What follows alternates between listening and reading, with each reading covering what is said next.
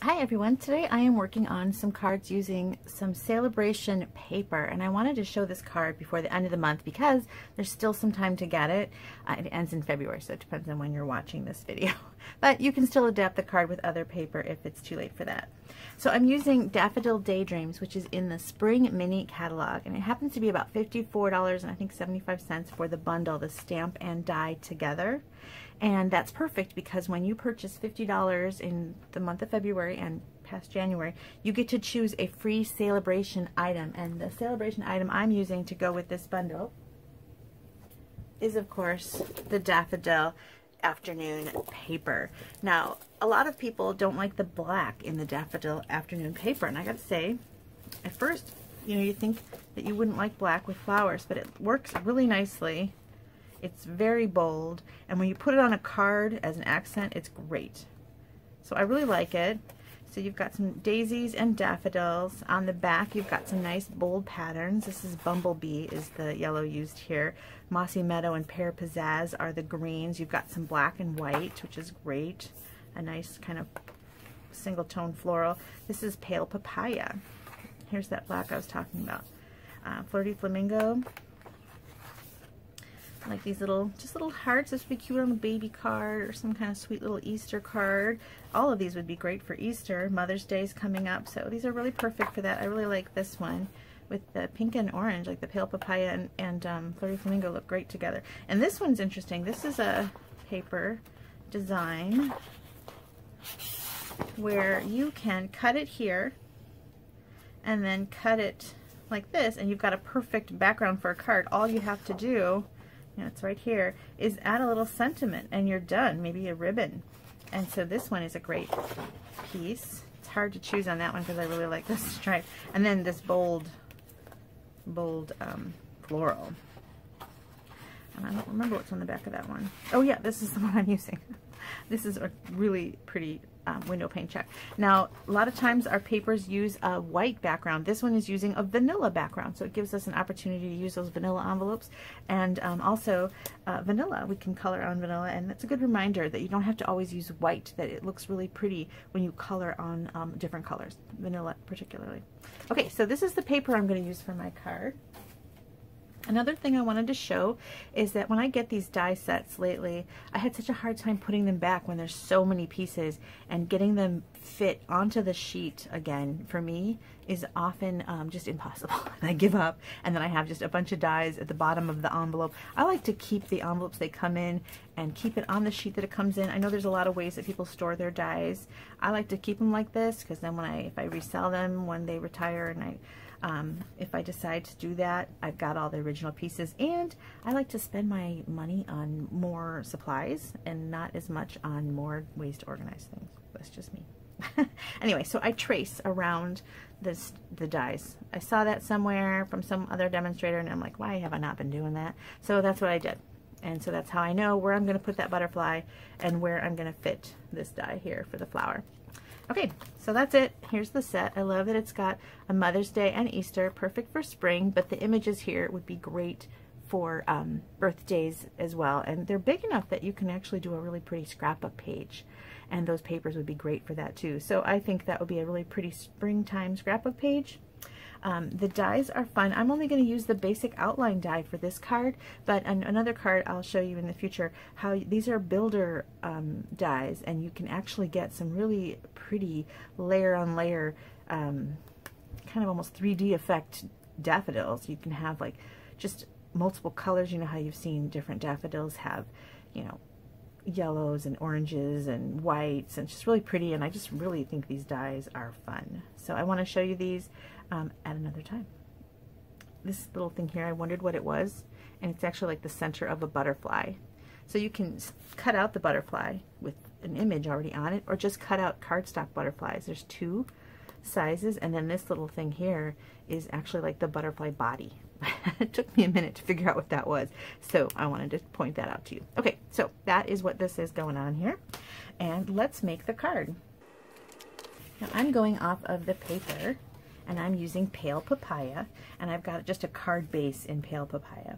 And then I've cut two little strips here of the patterned paper like so And then I'm using another die set. Sometimes I feel bad when I use more than one die set in a card because I don't want it to be that you have to have so much for the card.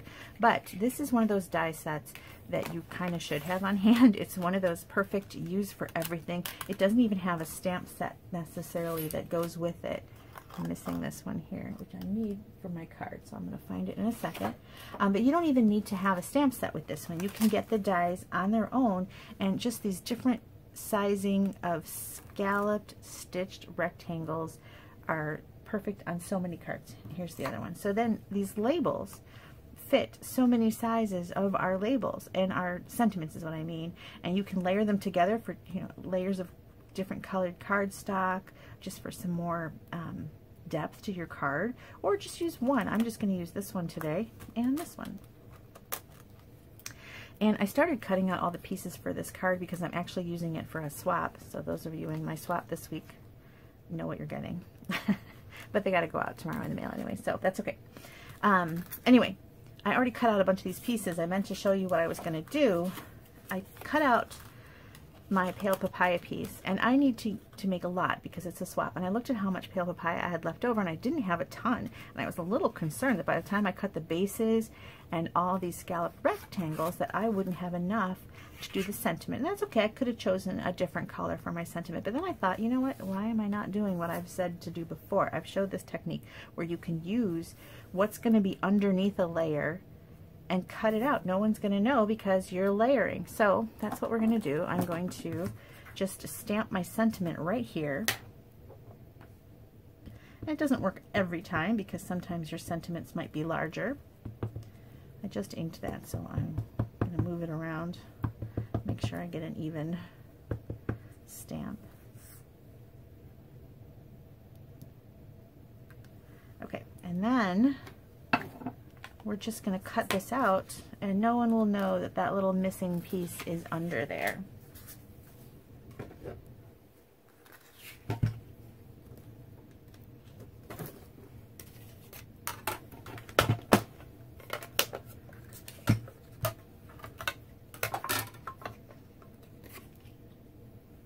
I'm loving this little mini um, die and emboss machine, I have to say. Because it's so small, it can fit right on top of my ink pad holder.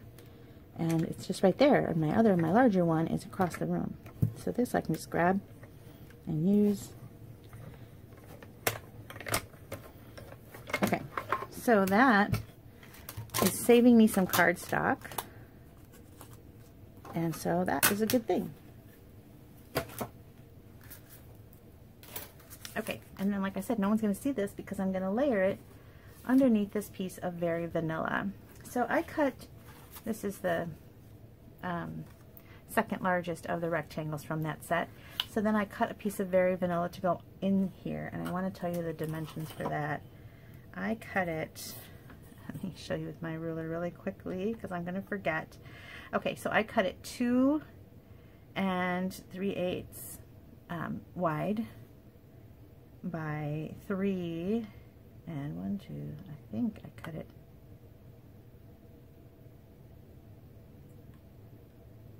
three and three eighths. So that's not two and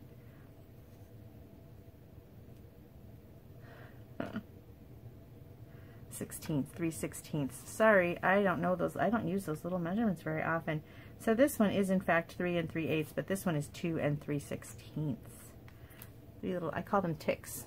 so I didn't want to say that out loud to you because I always, when I count them to myself, I say, all right, two and three ticks. So I didn't want to say that to you, but now I just did. Okay, so that's what I cut it. All right, and then on a scrap piece of Very Vanilla, I wanted more height and dimension, so I'm gonna cut my flower out. You could just stamp the flower straight on there and have it be very flat, um, but I like to add a little bit of dimension, so that's what I'm gonna do here with the daffodil flower. So I'm using, for this card, just the single flower. There's another one that's um, a grouping, and that's really pretty too. I've used this on another card, and you can look back. I did a video showing one template three cards and I used that daffodil. And that's another video if you want to see that. I could put a link in my video in the description. Okay, so we've got that, and I also need oh, a butterfly, so I'm going to go ahead and stamp my butterfly. All right, so all my stamping is done, and now I just need to color this. Now, the colors in here are Mossy Meadow and Pear Pizzazz, and I really wanted to use Pear Pizzazz, but I don't have Stampin' Blends in Pear Pizzazz. I don't have every color, but I decided that's okay. You can use Stampin' Write markers with your Stampin' Blends. They're not going to blend, so if you're trying to blend something, that's not going to work, but it's okay if you use them on the same image. So I'm just going to color the leaves in Pear Pizzazz. Now, I do have Mossy Meadow. Mossy Meadow comes in a Stampin' Blend. But these are just leaves and pretty straight, and that's okay, I decided.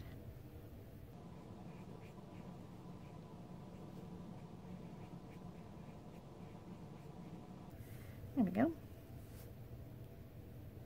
Now the one thing about Stampin' Blends is that they give you the ability to make a darker area, but you can go over an already markered area with another layer of ink and get it darker by just giving it another layer, like where the leaf folds not as perfect as the Stampin' Blends, but it's going to give you a pretty effect.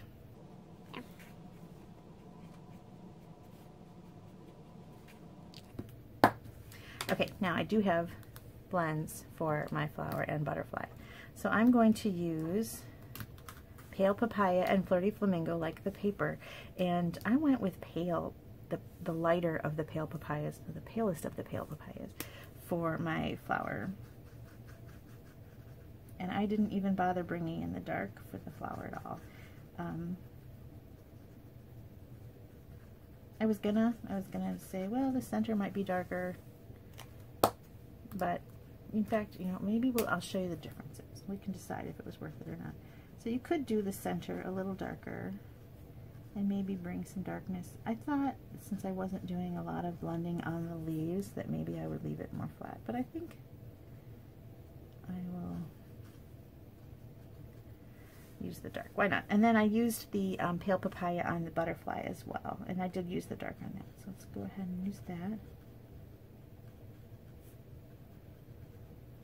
And I just did it all one tone. Okay, and then the Flirty Flamingo. I'm going to use the blunt end and just mimic the paper by doing it along the edge. Like it's got a lacy little pink edge, just like the paper.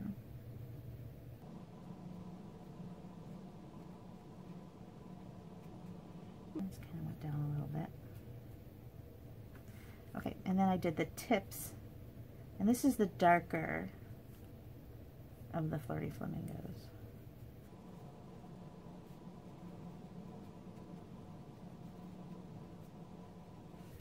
Okay. And now we're just going to cut these out.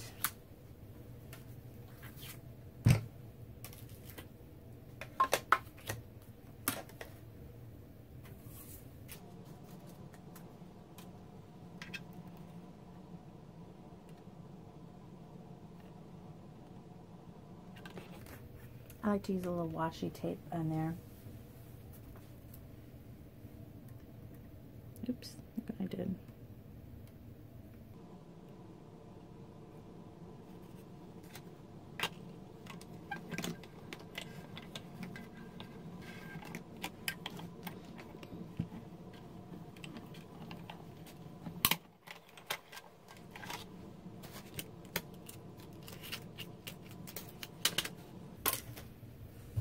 Okay. I forgot to mention that I have a layer of basic black and this is four by five and a quarter. And so these are just an eighth of an inch smaller. And so I cut this one is um, two and a quarter and this one is just a little longer than it needs to, wait, no, this is one and three quarters, sorry. And this one is two and a quarter. It doesn't quite need to be two and a quarter, but I wanted to give a little bit of um, overlap just so that when I put them down, I had a little bit of play. So this one is one and three quarters, and this one is two and a quarter. And then the length here, it's just an eighth of an inch shorter. so I want to say it's um, a tick under, but no, it's an eighth of an inch shorter, shy of the um, five and a quarter. So it's five and an eighth. Why do I have a problem with those eighths? I tell you, math is not my fun thing. And you know, in crafting, you always say, I was told there was no be no math. but there is, there is math in crafting. Okay. I did not mean to drop that. So I'm going to leave a little tiny, sometimes a tinier mat. Oftentimes I use a whole quarter of an inch mat on my projects. Sometimes just that tiny shadow of black or a little mat, skinny little mat is all that's needed and it kind of is less um, distracting and it kind of just focuses in on the pattern. Now this one is does have an up and down, so you don't want your daffodils upside down, so make sure you've got them going the right way. And you're going to give a little bit of matte and it's going to overlap this little piece just a tiny bit. There we go. Okay, and then these can just get glued together. So like I said, no one's going to see that you cut this out.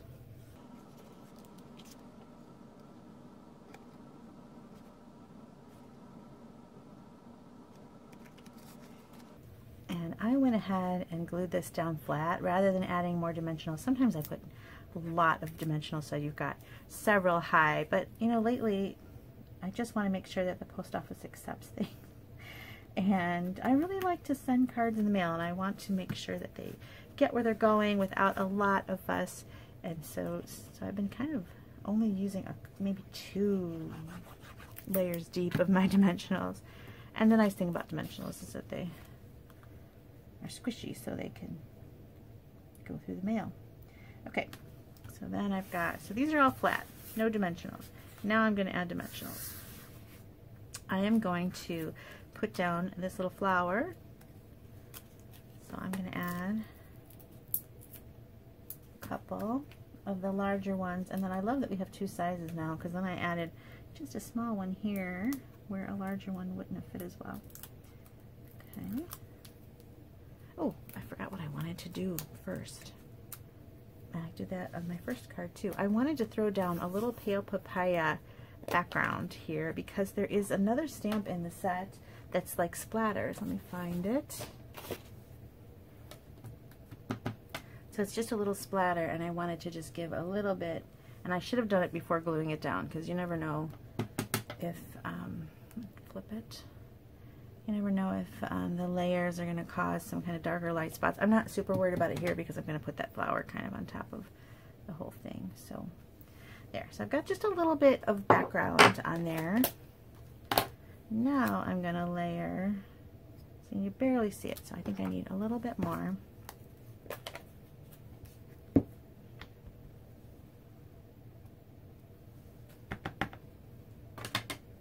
like to kind of turn them different ways so that they're not all the same. Okay, now I'm putting that down. I was trying to decide if I wanted it tilted or straight, and I'm going just straight. Okay, and then for this, I'm going to add dimensionals to this too, but it's not really going to add a lot of height because I'm going to go over the um, existing height of that. I'm not really adding any height. And then this is going to come right here. Center that a little better. There we go. And then my little butterfly is also going to be up on dimensionals. in the top corner. Oops. Like so. Here, now for the inside, I'm going to put a little bit of Very Vanilla. Now, a lot of times when we're cutting our cardstock, we have little tiny strips left over because, you know, it's never the exact perfect, you don't end at the exact 12 inches when you're cutting it up. So you always have those little strips left over, and I like to use those on the inside of my card. So that's what I'm doing. Now for this one, I had this left over, and I thought any of the patterns would work. So some of my cards will have a little stripe of this on the inside, and some will have a little stripe of this one. So let me glue that down.